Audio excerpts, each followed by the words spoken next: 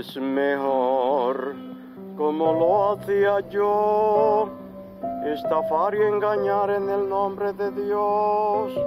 Alejandro Bullón lo hace como lo hacía yo, siempre en el nombre de Dios.